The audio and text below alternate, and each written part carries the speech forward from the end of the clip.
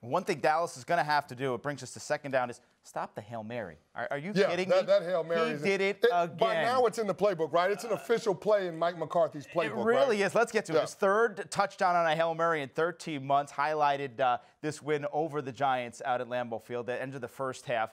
Let's talk about the Hail Mary. It got a ton of tweets online, ton of reactions from guys. Deion Sanders saying, I really don't care who wins, but I want to slap every DB involved in that Hail Mary play. Uh, Michael Strahan, a former Giant, it is unacceptable when you know it's coming. And there's, there's the key, Chris.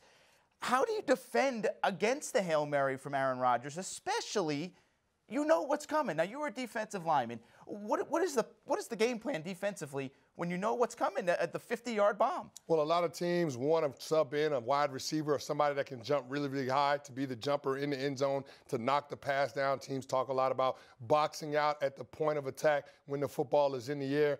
But to me, I want to go get the source of the pass. I want to come after the quarterback. Teams usually rush three or four defenders. I would come after them with five, create one on ones along the offensive line, have my defensive linemen get one on one pass rush. You got to have somebody win in that situation.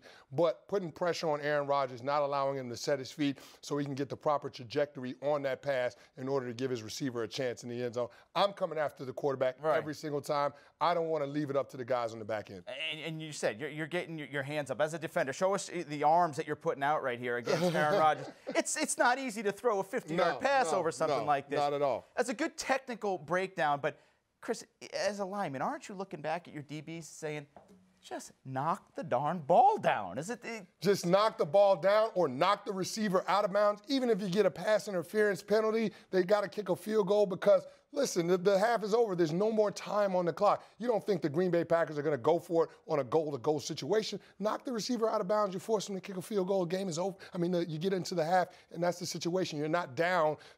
you're not down 14 to six. You're down 14 to, to nine potentially, or 14 to 10. Excuse me. So that's the situation. That's the scenario. That's probably how I would play it. That would be frustrating as a teammate, one of those defensive backs for the New York Giants. You mentioned box out. All these guys have played pickup hoops. Everybody knows Just what box, box out your man out and you get a touch. Show me that wingspan again. How, far, how, how, long is it? How long is that See, thing? you can't throw a pass over. See, I can't do exactly, anything over exactly, that. No, exactly. absolutely not. Yeah. I guess easier said than done for the New York Giants.